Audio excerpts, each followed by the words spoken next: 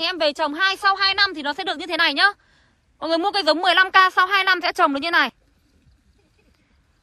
À, bác nào quan tâm thì qua Zalo số điện thoại của em là 0969 162 214 ạ. Miền Tây nóng trồng ok không em? Miền Tây thì không trồng được nha anh nhá. Những khu vực mà nắng nóng thì không trồng được mộc hương, trồng thì vẫn trồng được nhưng mà nó không ra được hoa. Mà cây này là lại là, là cây mà chơi cảnh, chơi hương, chơi hoa. Mộc hương cũng là cây chơi hương, chơi hoa nhé mọi người nhá. Nên là phải những bạn ở khu vực khí hậu lạnh thì mới trồng được. Có rất nhiều bác ở trong Sài Gòn hỏi mua của em nhưng em đều từ chối bán. Nhưng em đều em đều từ chối bán. Không phải ai hỏi mua em cũng bán đâu, phải khu vực nào em phải hỏi. Thường là khi các bạn hỏi mua em đều hỏi là ừ, bạn ở đâu?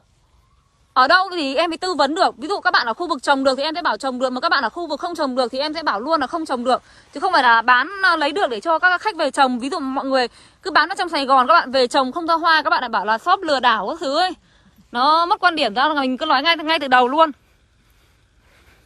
Miền Trung được không em? Miền Trung được nha anh nhá. Miền Trung được ạ.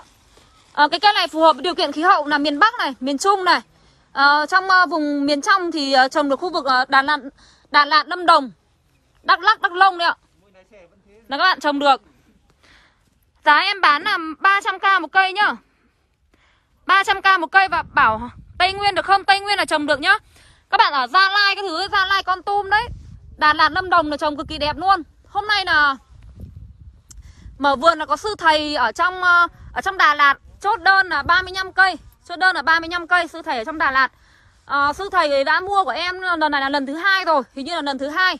Lần trước là thầy mua từ trong năm cách đây là 6 tháng. Là thầy mua 4 cây 4 cây mộc hương ta Loại to, loại 3 triệu một cây. Và bây giờ thầy mua thêm một hàng nhỏ để thầy trồng xung quanh chùa. Sư thầy ở trong ờ, trong trong ờ, Đà Lạt Có được chọn không em? Được nha anh nhá Anh đến nhà em chọn luôn Cây đó trồng được trong mái tôn không em? Không, không trồng trong mái tôn nhá Cây phải yêu cầu đủ ánh sáng Cây này là hàng hàng này là hàng trồng ngoài trời nhá mọi người nhá. Cây này cây này là cây bọt mà trời hàng trồng ngoài trời mọi người không thể trồng nó trong nhà được nhá. Trồng trong nhà là nó sẽ không thiếu ánh sáng, nó sẽ cây nó sẽ không phát triển được, thậm chí là nó sẽ chết. Cây này yêu cầu phải đủ có ánh sáng nhé Nếu các bạn trồng ban công phải yêu cầu là mỗi ngày tối thiểu 4 tiếng ánh sáng nhé mọi người nhé Cây này các bạn có thể trồng ở ban công có mái che nhưng mà yêu cầu là phải có nắng xiên. Tức là một ngày tối thiểu 4 tiếng ánh sáng nhá. Nếu mà không có ánh sáng à, che kín hết thì nó không trồng được. Xin địa chỉ của shop em ở Thọ Bình, Tân vân Khoái Châu, Hưng Yên Này ốc, Long Hưng, Văn Giang, Hưng Yên Và Xuân Quan, Văn Giang, Hưng Yên ạ Vườn hồng bên cạnh có cây to không? Có nha nhá. Có hồng điều này, Hồng à, đào này. Rất là nhiều. Đây là những cây mà không đạt biểu này. Những cây không đạt biểu này em bớt lại hết luôn. Những cây không đạt biểu này em bớt lại hết. Chứ không à, không không không đánh cho mọi người. 100 cây bao tiền? 100 cây nếu mọi người mua xô thì à, giá nó sẽ 280 290 mọi người mua chọn cây đẹp, đều đẹp như nhau thì giá nó vẫn là 300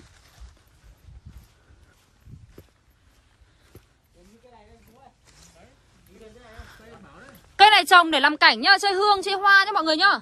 Cây này cây trồng để làm cảnh, cây chơi hương, chơi hoa nhá mọi người nhá. Đây sắp hết rồi. Về chọn cho anh Nghiệp Văn để tối về bảo anh Anh bảo anh lấy 40 cây Tôi tối về tôi xui anh lấy 50 cây Thằng nào một chuyến xe Cây của anh Nghiệp Văn nhá Cây đây của anh Nghiệp Anh Nghiệp Văn ờ, Anh Nghiệp Văn Vâng em nghe anh ơi Bao nhiêu cây rồi? Ờ, 400 rồi, 402 rồi Mấy người chiều đã đánh hả anh? 4 Xong rồi đang xếp lên xe anh ạ. À. 6. Chiều em tầm 4 người anh cùng ạ. Đấy. Vâng vâng vâng. 10. À, mua lẻ là giá mua lẻ là, là, là giá 500k nha mọi người nhá. Mua lẻ của mua sỉ đương nhiên giá nó phải khác nhau rồi. À, giá lẻ và giá sỉ nó không thể giống nhau được. Cây rất là đẹp, rất là xuất sắc luôn đấy ạ